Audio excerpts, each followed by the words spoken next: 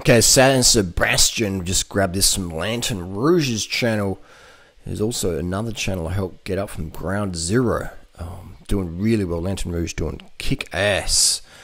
This is why road discs are dangerous in the world tour. Alright, this is Mohoric, Powless, a few other riders there. Boom, boom. Luckily, no one hurt. What's over the barrier? And watch this Neil Balance attacking him when the crash is on. That's why it's so cutthroat in pro cycling. Um, and that Shimano car almost tanks out the the Tarmac SL7 Dusik, uh, the quick step rider there. This guy here is getting a bit pushed from the fan. Good work.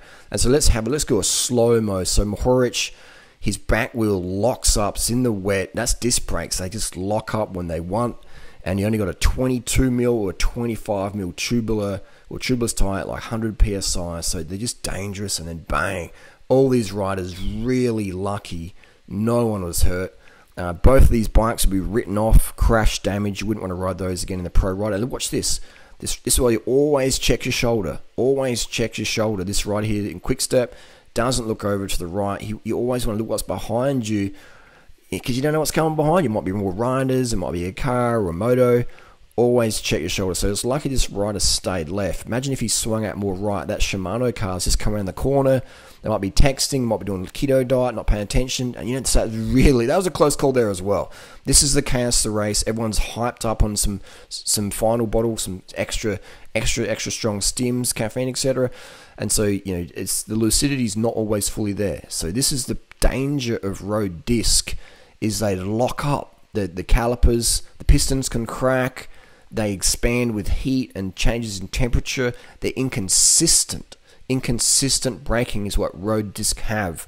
And that's okay if you're just doing like me, like gravel racing and gravel riding and mountain biking and stuff like that. You got a big fat tire on dirt, you can you can lose traction. It's alright, but if you lose traction on the road on a 25 mil tire or 22 mil, which was what we race on at speed, you know that's really really dangerous. Okay, so road disc is okay for amateur riders, for noobs, sort of, but for pros at this speed, they're dangerous. Very, very dangerous. In rim brakes, this crash probably wouldn't have happened because it would have been less grabby grab and more modulation. You have more modulation with rim brakes.